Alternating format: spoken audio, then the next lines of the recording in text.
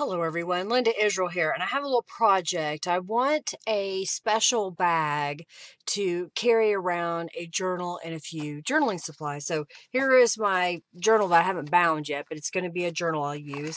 And then this is one of those pencil cases so uh, that you would snap into a notebook or something like that that has pencils and some essential tools in it. And my idea was is I had this batik fabric and I've got a scrap of canvas here that I would have this in the middle.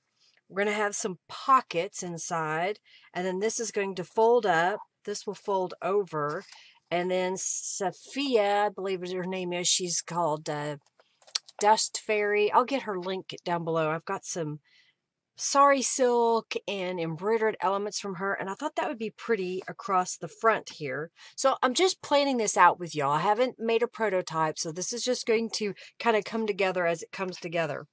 I wanted to have a handle that attaches down here, comes up and loops over that you would carry it from here so that would keep it closed and I also want the ends closed so that if I put stuff in there it's a true bag so I'll just be able to reach in and then pull my items out and then I can put them back in when I'm done with them so I'm telling you all this because I haven't really measured other than I took some fabric that I already had and I cut them to be the same size. So let me measure that for you. And basically I used a fat quarter of a sorry of a uh, batik that I have here. So let me measure this.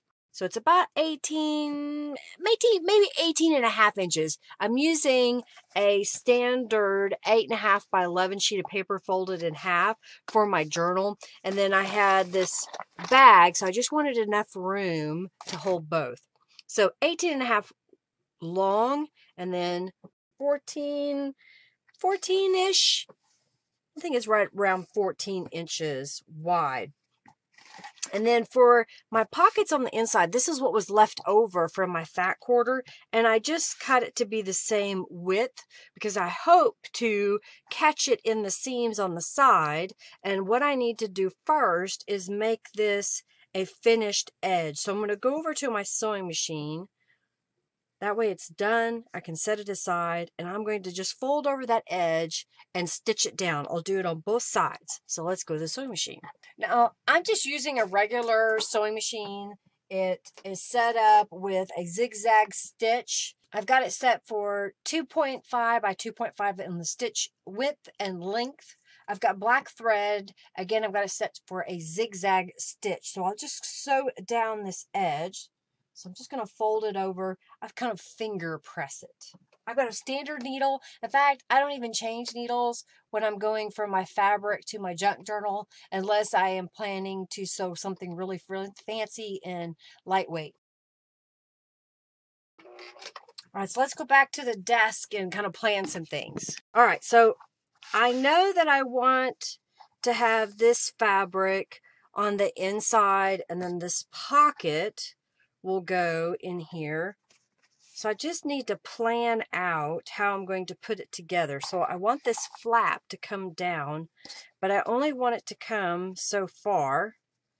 So I'm thinking that will be a good height for the inside. So I'm just going to finger press this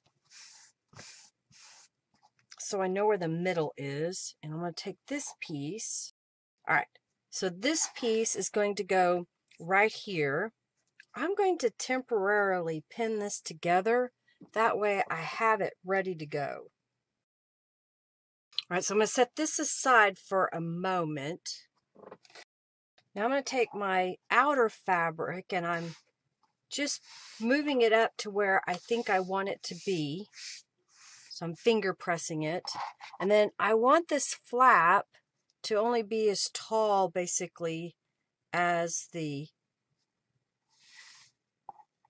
fabric allows.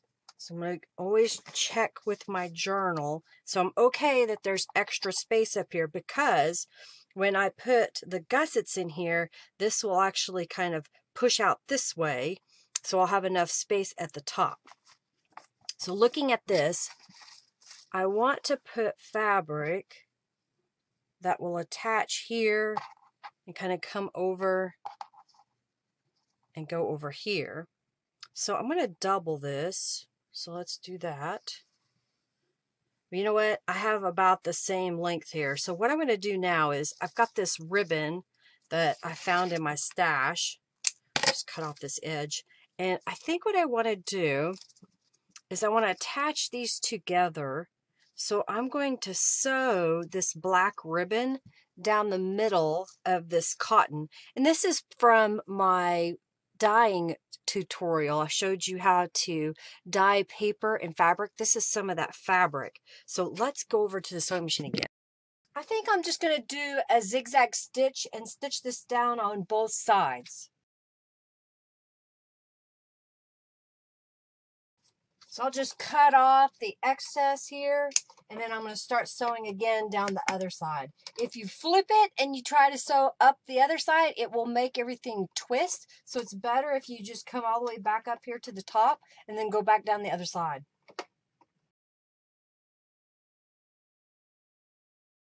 All right, we've got that stitched together. Now that I have this stitched together, I'm going to find the center between the two and then cut it in half. And now when I look at this, I want to fold under this edge just a little bit. And if I'm smart, I would measure, but that takes like forethought. All right, so I need my longer ruler. So if I fold this over, I'm thinking right about there. So what I'm going to do is take my pin and pin this in place. Smooth it back out. So I will stitch this area, and I don't want it to stitch any higher than this high. So I'm just going to put a pin across there. All right, I'm liking this so far. So I'm going to come over here and take this piece. And you want to make sure that you basically keep it flat. So it'll turn just a little bit at the top. Then I'll fold this over. And I'm going to come in five inches from the edge. One, two, three, four, five. And right about there. I think that'll be a good height. I know y'all can't see how long that is, but I think I like that. Okay, so now I'm going to open this up pin this into place. And that is not at the same height as the other one. I thought I had my ruler going straight across, but apparently I did not. My thought was the handle could come down out of the way because it'll bend right here.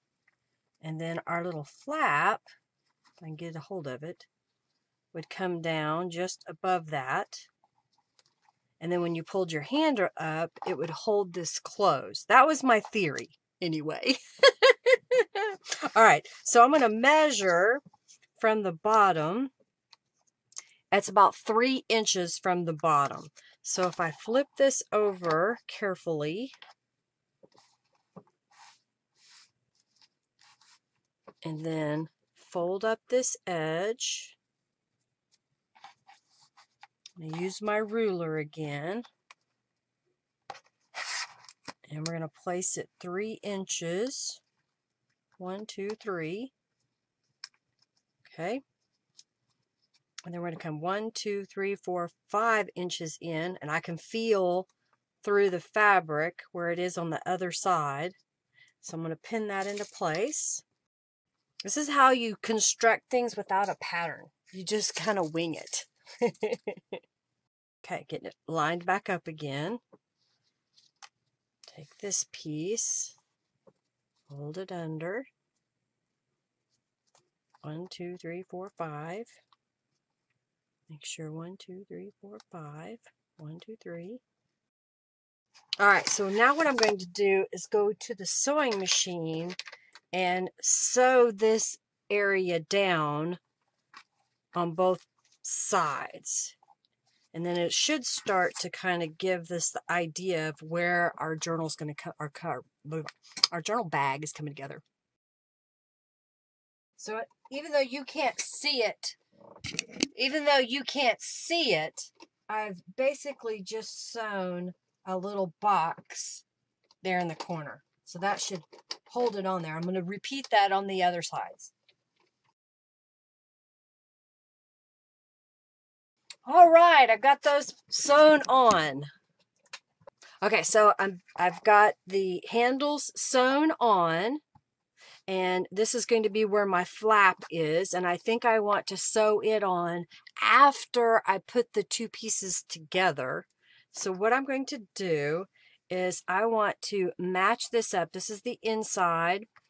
I want to match this up and I don't want to accidentally catch my handle. So I'll just put a few pins in here and we'll pin this rectangle on the outside edge. I'm going to leave an opening up here where I don't sew. So I'm just putting my pins where I know to start and stop. All right, so I've just pinned around my rectangle. And what I'll do is I'll start sewing here and go all the way around. And then I will turn this right side out. I'm going to do a I'm going to do a straight stitch all the way around this outside edge. So I don't want quite a, about a quarter of an inch is what I want for my seam allowance. All right, let's go back and remove all the pins and turn it right side out. Oh, before I do that, I'm going to cut these corners just a little bit. And I'll spend a minute kind of fiddling with it, getting that seam turned to the correct side and get it smooth. All right, so in theory, if I did this right, I should be able to fold this up. This should go like that. And then I have this little handle. It's kind of curly at the moment, but I have this handle here that I'll be able to use to carry my bag.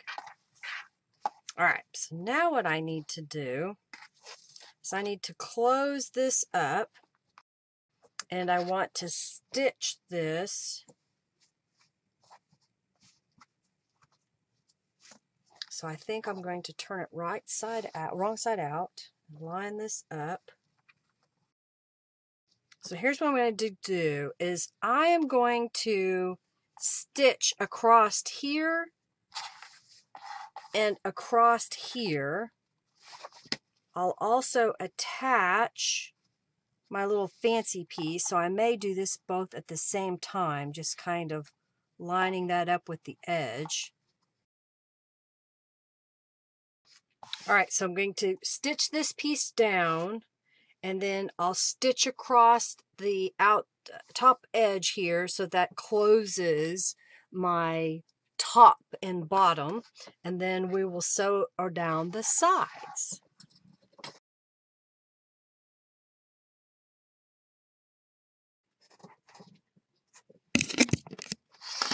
Okay, so I've attached this piece up here I've sewn here so that when we fold this up, this flips over, okay?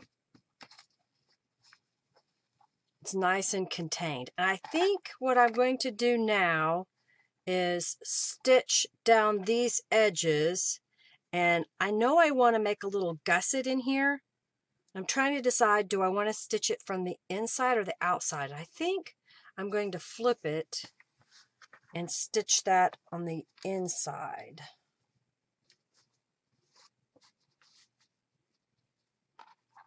So then that'll open up and this will kind of have a flip over. Okay. Sometimes I have to just talk things through on my for myself. All right, so I'm just going to stitch down here and stitch down here on these two outside edges.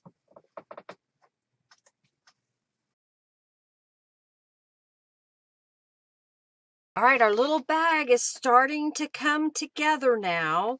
So I may not have got it perfect, but you know what? I'm okay with that. So I want it to have kind of a little gusset and it's just a technique I learned a long time ago, which was to just cut out about an inch on the side here. And then that causes it, when you sew it, to work better. Anyhow, I'll show you what I mean. So I'm going to come in here about an inch In fact, I probably should mark it so I can see that I'm doing it about an inch. All right, so I'm just going to cut this piece. Cut through all those thicknesses, it's kind of heavy. All right, so now I'm going to take this piece and just mimic on the other side. And now what I do is I take this and fold it flat. And I'm going to stitch right across this edge on both sides. All right, here comes the truth of moment of truth. so I can trim off these threads if I want. And the reason why I sewed it the way that I did on this part is that way you don't have as many raw seams. So there is the bag. And then in theory, this should fit inside as well as my journal. This flips over and then I have this little handle that'll help keep it all nice and closed. Now, if I want, I could put a closure on here, and I might, I don't know. I'm just going to kind of play with it the way that it is now. I think that's going to work just fine, and it's a cute little bag that I put together. I hope you like seeing just kind of winging it, making a little tote bag to put a journal in. I'm going on a trip, a vacation cruise, and I wanted to be able to just grab this little tote to go sit down and journal for a few minutes. I hope you like this. Thanks so much for watching. Please give this video a thumbs up, share it with your friends. Comment below if you have any comments or questions. And of course, Thank you so much for watching. I go live on Mondays at 3.45 p.m. Central Standard Time. And then the first Thursday of the month is my mixed media day at 12.30 on Thursdays. All right, everybody. Y'all have a fabulous day. Bye.